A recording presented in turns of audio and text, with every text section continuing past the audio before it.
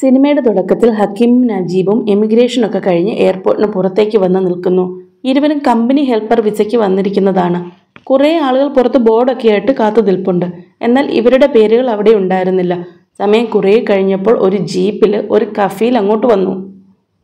ആരെയൊക്കെ അയാൾ അവിടെ നോക്കുന്നുണ്ടായിരുന്നു. എന്നാൽ അവസാനം ഇവരുടെ അടുത്ത് വന്ന് ഇവരുടെ കയ്യിൽ നിന്ന് പാസ്പോർട്ട് വാങ്ങി വണ്ടിയിൽ കയറ്റി കൊണ്ടുപോയി. കുറേ യാത്ര കഴിഞ്ഞപ്പോഴേക്കും ഇരുവരും ഉറങ്ങിപ്പോയിരുന്നു. കുറേ നേരത്തെ യാത്രയ്ക്ക് ശേഷം ഇവർ മറ്റെവിടെയോ എത്തി. ഹക്കീമിനെ അവിടെ നിന്ന് ഇറക്കി അവിടെയുള്ള ഒരു അറബിയുടെ ടെന്റിൽ ഏൽപ്പിക്കുന്നു. ഞങ്ങൾ ഒന്നിച്ചു വന്നതാണ്. ഞങ്ങൾക്ക് ഒന്നിച്ച് താമസിക്കണമെന്ന് നജീബ് പറയുമ്പോൾ നജീബിനെ കഫീൽ തല്ലി വീണ്ടും വണ്ടിയിൽ കയറ്റി. വീണ്ടും കുറച്ച് അപ്പുറത്ത് മാറി വണ്ടി നിർത്തി അവിടെ ഒരു ടെന്റിൽ അറബിയുടെ കയ്യിൽ നജീബിനെ ഏൽപ്പിച്ചിട്ട് കഫീൽ അവിടെ നിന്ന് മടങ്ങി.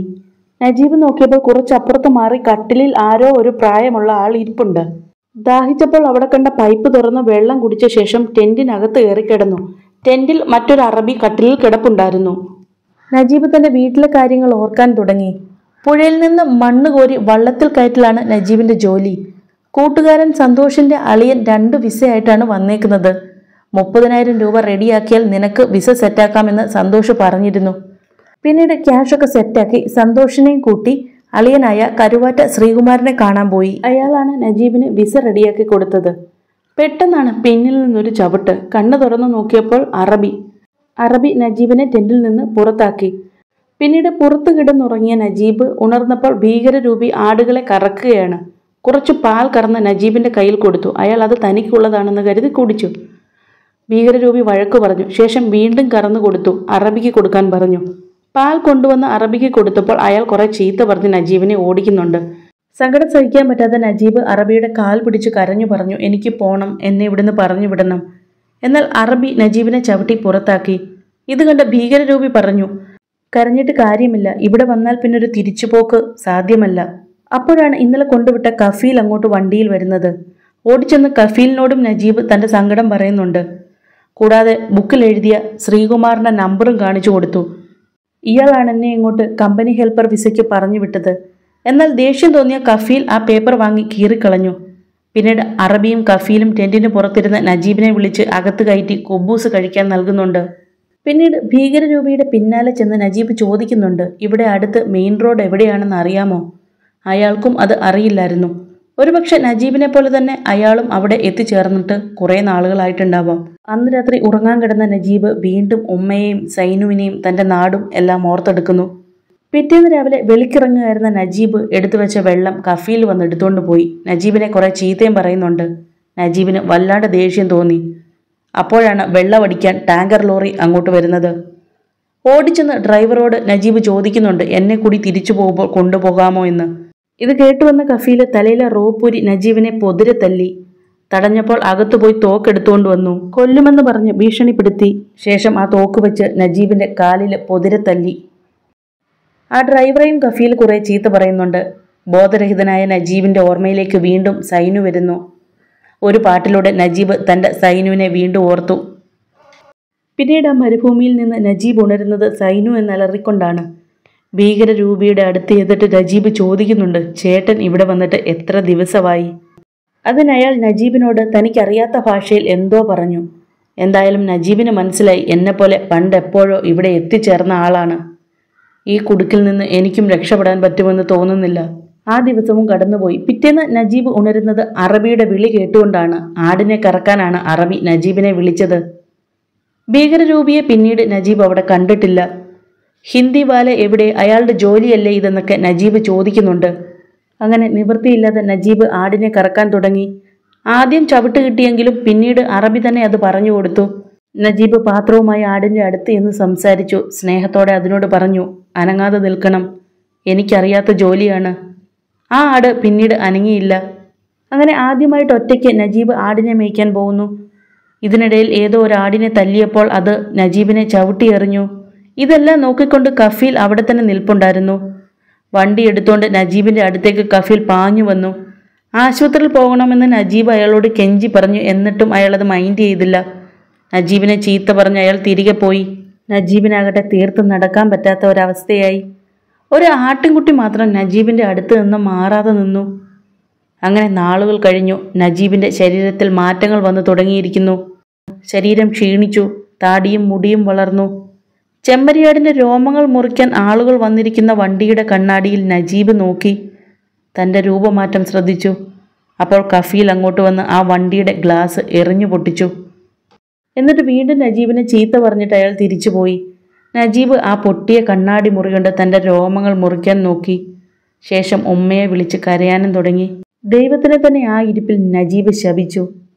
പെട്ടെന്ന് നജീബ് എഴുന്നേറ്റ് അടുത്ത് കണ്ട കുന്നിന്റെ മുകളിലേക്ക് ഓടിക്കയറി. നോക്കിയപ്പോൾ എന്തോ ഒന്ന് പരുന്തുകൾ കൊത്തിവലിക്കുന്നുണ്ട് ഓടിച്ചെന്ന് മണ്ണ് മാറ്റി നോക്കിയപ്പോൾ അത് നജീബിന്റെ കൂട്ടായിരുന്ന ഭീകരരൂപിയുടേതായിരുന്നു. അപ്പോഴേക്കും നജീബിനെ പരുന്തുകൾ ആക്രമിക്കാൻ തുടങ്ങി. ഒരു വിധത്തിൽ അയാൾ അവിടെ നിന്ന് രക്ഷപ്പെട്ടു. രാത്രിയിൽ നജീബ് വീട്ടിൽ നിന്ന് കൊടുത്തുവിട്ട പഴകിയ അച്ചാർ കഷ്ണങ്ങൾ കഴിക്കുന്നുണ്ട്. പിറ്റേന്ന് ആട്ടിൻപറ്റങ്ങളെ മേയ്ക്കാൻ പോയ നജീബ് അവിടെ നിന്ന് ഓടി രക്ഷപ്പെടാൻ ശ്രമിച്ചു. എന്നാൽ ദൂരെ നിന്ന് ബൈനോക്കുലറിലൂടെ കഫീൽ ഇതെല്ലാം കാണുന്നുണ്ടായിരുന്നു. അയാൾ ഒട്ടകത്തിന്റെ പുറത്തു കയറി ഓടിയെത്തി. അയാൾ കയ്യിലുണ്ടായിരുന്ന തോക്ക് വെച്ച് നജീബിന്റെ ദേഹമാസകലം തല്ലിച്ചതച്ചു. വീണ്ടും അങ്ങനെ നാളുകൾ കടന്നുപോയി. നജീബിന്റെ ശരീരത്തിൽ വീണ്ടും ഒരുപാട് മാറ്റങ്ങൾ സംഭവിച്ചിരിക്കുന്നു. ഒരു ദിവസം നജീബ് ആടിനെ മേയിച്ചുകൊണ്ടിരിക്കുകയാണ്. പെട്ടെന്നാണ് കാലാവസ്ഥ മാറി ആലിപ്പഴം വീഴാൻ തുടങ്ങിയത്. അടുത്ത് കാണുന്ന ഗുഹയിൽ ആടുകളുമായി നജീബ് കയറിയിരുന്നു. മഴ തോർന്നപ്പോൾ ഗുഹയുടെ ഉള്ളിലൂടെ നടന്ന് അപ്പുറത്തെ സൈഡിൽ നജീബ് എത്തി. വെറുതെ അയാൾ ഒന്ന് അലറി പെട്ടെന്ന് ആരോ ഒരാൾ നടന്നു വരുന്നത് പോലെ തോന്നി. അത് മറ്റാരുമായിരുന്നില്ല. ഹക്കീമായിരുന്നു പരസ്പരം കെട്ടിപ്പിടിച്ച് അവർ ഒരുപാട് കരഞ്ഞു. ഹക്കീം നജീബിനോട് രക്ഷപ്പെടാമെന്ന് പറഞ്ഞ് വിളിച്ചോണ്ട് പോവാൻ ഒരുങ്ങി അപ്പോൾ നജീബ് ചോദിക്കുന്നു എങ്ങോട്ട് പോകാനാ? വീണ്ടും ഇരുവരും കുറേ നേരം കരഞ്ഞു. അപ്പോഴേക്കും ദൂരെ വണ്ടിയുടെ ഒരു സൗണ്ട് കേൾക്കുന്നുണ്ട്. അത് ഹക്കീമിന്റെ കഫീലായിരുന്നു.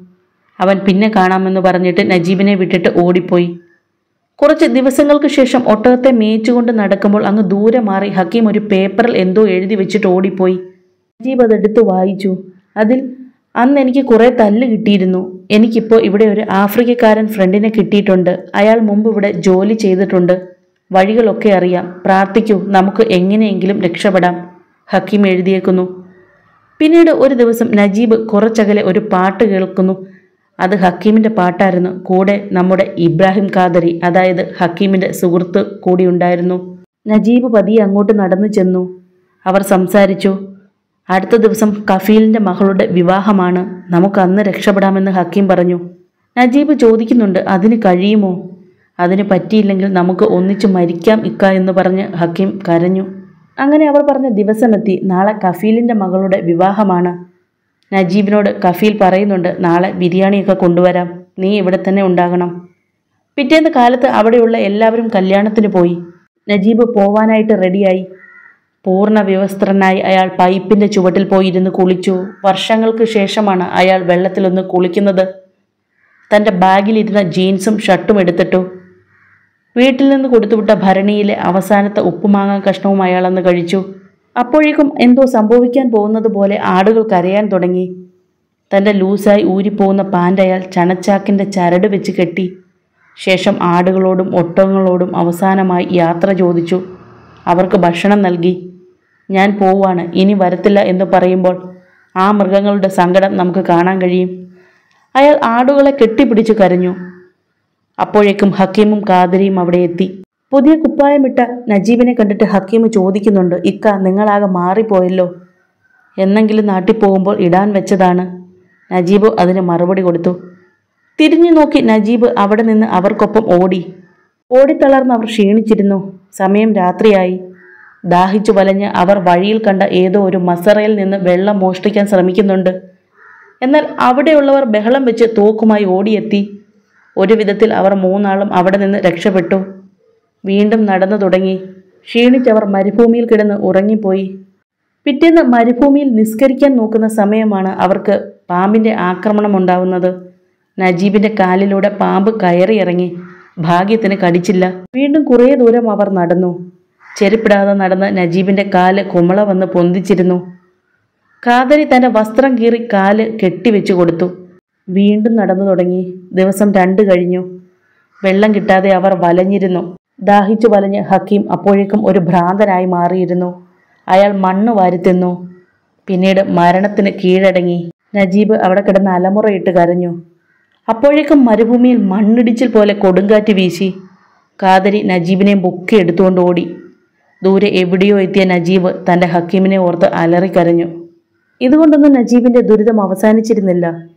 ഖാദരി നജീബിനെ തോളിൽ ചേർത്ത് നിർത്തി നടന്നു. നടന്നുപോയ നജീബ് വീണ്ടും തളർന്നു താഴെ വീണു.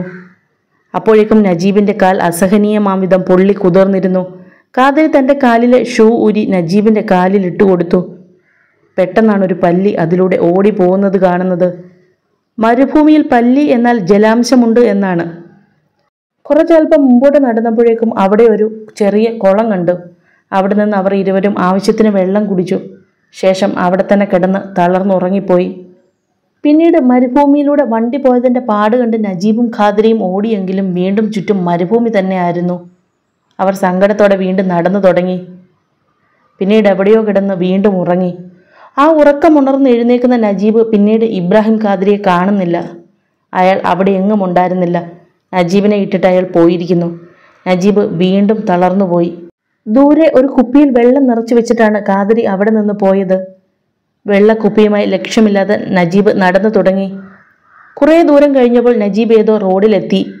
പല വാഹനങ്ങൾക്കും അയാൾ കൈ കാണിച്ചുവെങ്കിലും ആരും നിർത്തിയില്ല. രാത്രിയായി. പിറ്റേന്ന് പുലരുന്നത് വരെ നിന്നു. ആരും നിർത്തിയില്ല. അവസാനം ഒരു കാറുകാരൻ അല്പം മുമ്പിലായി കൊണ്ടുപോയി നിർത്തി. തിരിച്ചു വന്നു. അയാളുടെ വണ്ടിയിൽ നജീബിനെ കയറ്റി. പിടിച്ചു കയറ്റി എന്ന് പറയുന്നതാവും ശരി. അയാളായിരുന്നു നജീബിന്റെ ജീവിതത്തിലെ ആദ്യത്തെ ദൈവദൂതൻ. അയാൾ നജീബിന് വെള്ളം നൽകി. ദൂരെ ഒരു സിറ്റിയിൽ ഒരു പള്ളിക്ക് മുമ്പിൽ നജീബിനെ ഇറക്കിയിട്ട് അയാൾ പോയി. പിന്നീട് എവിടെയോ കിടന്ന് ബോധം പോയിരുന്ന നജീബ് ഉണരുന്നത് കുഞ്ഞിക്കയുടെ റൂമിലാണ്. കുഞ്ഞിക്ക നജീബിന് കിടക്കാൻ സ്ഥലം കൊടുത്തു കുളിപ്പിച്ചു മുടിവെട്ടി വീട്ടിലെ നമ്പറുമായി കോണ്ടാക്ട് ചെയ്തു സൈനുവിനോട് സംസാരിപ്പിച്ചു. പിന്നീട് കാണിക്കുന്നത് നജീബ് പോലീസ് സ്റ്റേഷനിലെത്തിയതാണ്. അവിടെ പോലീസുകാർ കുറേ പേപ്പറുകളിൽ സൈൻ ചെയ്യിപ്പിക്കുന്നുണ്ട്. ആ പോലീസ് സ്റ്റേഷനിലെ നോട്ടീസ് ബോർഡിൽ ഒരു ഫോട്ടോ കണ്ട് നജീബിന്റെ ഭാവം മാറി. അത് മറ്റാരും ആയിരുന്നില്ല. ഇബ്രാഹിം ഖാദിരിയുടെ ഫോട്ടോ ആയിരുന്നു. നജീബിനൊപ്പം വേറെയും കുറേ ആളുകൾ ജയിലിൽ കിടപ്പുണ്ട്. എല്ലാ ആഴ്ചയും ജയിലിൽ അറബിമാർ വന്ന് ചെക്ക് ചെയ്യും. അവർ തന്റെ കടന്നു കളഞ്ഞ ജോലിക്കാരെ നോക്കാനായിട്ടാണ് വരുന്നത്. അങ്ങനെ അറബിമാർ വരുന്നതിനിടയിൽ പെട്ടെന്ന് നജീബിന്റെ മുഖഭാവം മാറി. കാരണം അതിൽ ഒരാൾ നജീബിന്റെ കഫീലായിരുന്നു. അയാൾ നജീബിനെ പിടിച്ചു വലിച്ചുകൊണ്ട് പോകുന്നതായി അയാൾ ഓർക്കുന്നു. എന്നാൽ അതൊരു ഓർമ്മ മാത്രമായിരുന്നു. അങ്ങനെ സംഭവിച്ചില്ല. കഫീൽ അടുത്തു വന്നു. എന്തോ പിറുപിറുത്തിട്ട് അയാൾ അവിടെ നിന്ന് പോയി. നജീബിന് അടുത്ത് നിന്ന ആൾ നജീബിനോട് പറഞ്ഞു കൊടുത്തു. അയാളല്ലായിരുന്നു നിന്റെ സ്പോൺസർ. വേറെ ആരുടെയോ വിസയിൽ വന്ന നിന്നെ അയാൾ പിടിച്ചുകൊണ്ട് പോയതാണ്. അല്ലായിരുന്നുവെങ്കിൽ നിന്നെ ഇപ്പോൾ പിടിച്ചു വലിച്ചുകൊണ്ട് പോയേനെ എന്നാണ് അയാൾ പറഞ്ഞത്. നജീബിന്റെ കൂടെ ജയിലിൽ ഉണ്ടായിരുന്നവരെല്ലാം ഔട്ട് പാസ് കാത്ത് സ്വന്തം നാട്ടിലേക്ക് പോകാനിരുന്നവരാണ്. മൂന്ന് മാസത്തോളം നജീബ് ജയിലിൽ ഉണ്ടായിരുന്നു. അവസാനം ഔട്ട് പാസ് കിട്ടി. ഫ്ലൈറ്റിൽ കയറുന്നത് കാണിച്ചുകൊണ്ടാണ് ഈ സിനിമ അവസാനിക്കുന്നത്. ഈ വീഡിയോ നിങ്ങൾക്ക് ഇഷ്ടമായാൽ ദയവായി ഈ ചാനൽ സബ്സ്ക്രൈബ് ചെയ്യാൻ മറക്കരുത്.